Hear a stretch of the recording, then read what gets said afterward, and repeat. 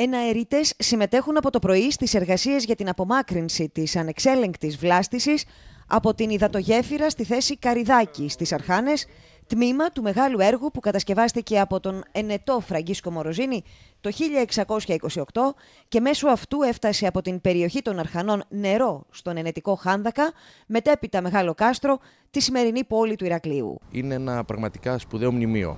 Έτσι αποφασίστηκε η ανάδειξη και συντήρησή του.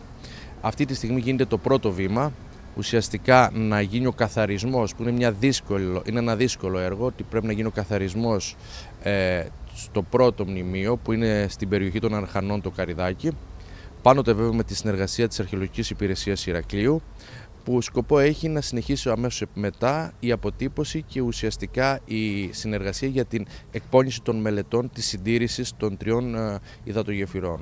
Πρόκειται για ένα μνημείο που αποτελείται από τρεις επιβλητικές υδατογέφυρες στις Αρχάνες, στην Γνωσό και η πιο γνωστή των Σπηλίων και δίκτυο αγωγών 15 περίπου χιλιόμετρων με έναρξη από τις βόρειες παρυφές του Γιούχτα και κατάληξη μέσω ενός πολύπλοκου συστήματος αγωγών και σειράγκων στο κέντρο της πόλης και την ομώνυμη Κρίνη των Λεόντων, Κρίνη Μοροζίνη. Τμήμα του εφιούς αυτού έργου αποτελούσε και η τρίλοβη γέφυρα που έμεινε γνωστή ως τρεις καμάρες. Είναι δύσκολες εξειδικευμένες εργασίες, γι' αυτό και άλλωστε υπάρχει μια σχετική καθυστέρηση, γιατί έπρεπε να υπάρχουν εναερίτες οι οποίοι θα κατέβουν με την απόλυτη ασφάλεια που απαιτείται σε ένα τέτοιο έργο να μπορεί να καθαριστεί ε, και να μπορεί να αναδειχθεί σωστά.